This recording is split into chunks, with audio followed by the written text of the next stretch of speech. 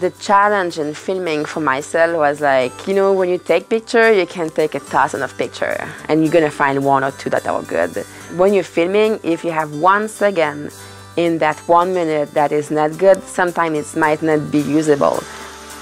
You know, you have to focus on the animal and you have to be really aware of, of what they're doing and you have to be aware of their comfort level.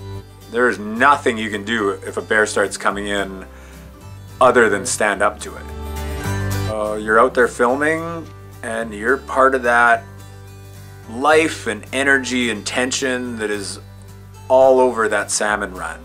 And that's something that sticks with you. Like, like that's something that can get addictive is, is the adrenaline of this whole thing. And it's, it's, it's not a adrenaline where you're like, you know, fighting the bear. It's an adrenaline where you're trying to think like a bear. And that's, that's an amazing feeling. We don't have a real film crew. There's just two of us. So I'm in charge of the drone. I'm the drone captain. I have crashed our drone a lot.